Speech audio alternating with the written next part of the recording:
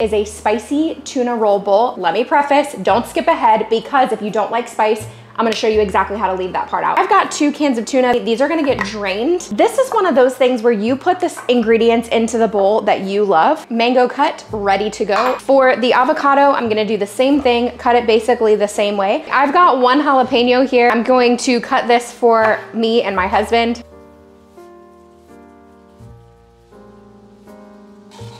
For the spicy mayo, you need about a half cup of mayo, two tablespoons of sriracha, and about a half teaspoon of lemon juice. For the tuna, I got cans that did not have any added salt. So I'm just gonna add a little bit of this seafood seasoning by Auntie Nono's. Also going to add a little bit of this everything seasoning. So we've got all of these beautiful ingredients that we can each add to our bowls here. Look how delicious this looks, you guys.